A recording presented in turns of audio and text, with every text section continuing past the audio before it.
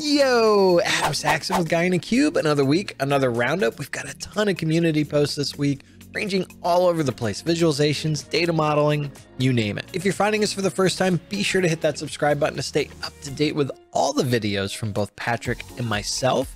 And with that, let's dig in.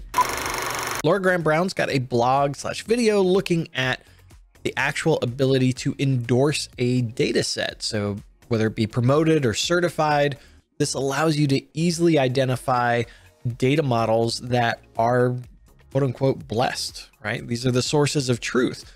And she walks through how to actually set that up in the Power BI service. Also, she doesn't necessarily call this out in her blog, but this is also available with data flows as well. So you can definitely take advantage of this from an organization perspective to highlight those data sets and data flows that are coming from that managed environment, right? So these are the sources of truth with inside of your organization. So if you're curious about this, if you're not even aware that this is available, check out this blog, check out the video, got it linked up above, down below, and you can go learn how to integrate this feature with inside of the service for your organization.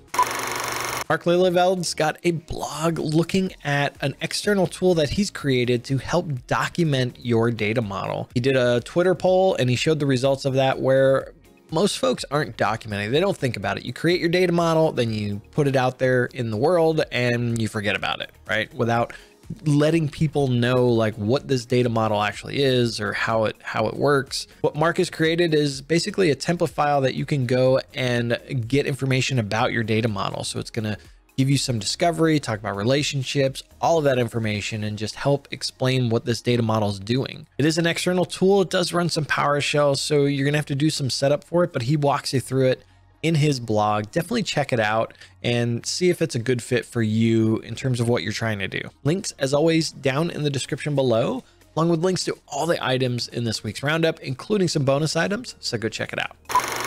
Reid Havens has got a video looking at how to actually change the image for button states. So when you can have it as a default, hover, and then selected, you can change the image as part of that. It's actually a pretty interesting way to go and add some added value to your images and make the buttons a little more interactive. I also appreciate that he had the Millennium Falcon in there as well. Reid continues to impress me on the visualization front. Also, just a heads up, our live stream that's going to be happening on August 8th will feature Reid as well. And so bring your visualization questions and he can help try and answer those.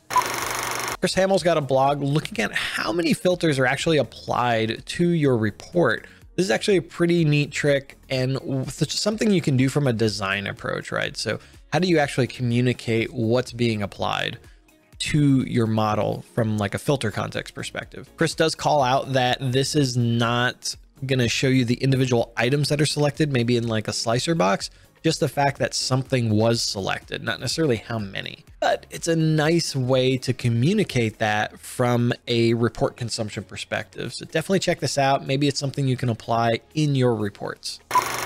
Marco Russo over at SQL BI's got a video looking at how do you read VertiPaq Analyzer results inside of DAX Studio. I know Patrick and I have said this a bunch, but VertiPaq Analyzer is definitely a go-to tool for us that we use when trying to optimize data models or troubleshooting performance or anything like that. That's that's one of our first stops that we do is to get the metadata of your model and have a look and see are there indicators there that maybe tell us that we need to go optimize something. And Marco walks you through once you get that those details inside of DAX Studio, how do you actually read them? Like how do you how do you discern information out of that. And so it's a great thing. Definitely go check it out. If you're working with data models, this is a must. All right, I want to hand this over to you. What was your favorite item this last week? Maybe it was something I mentioned. Maybe it was something I didn't. I don't know. Let me know in the comments below. If you like this video, be sure to hit that big thumbs up button. Smash it if you so desire. If it's your first time here, hit that subscribe button. And as always, from both Patrick and myself, thank you so much for watching. Keep being awesome, and we'll see you in the next video.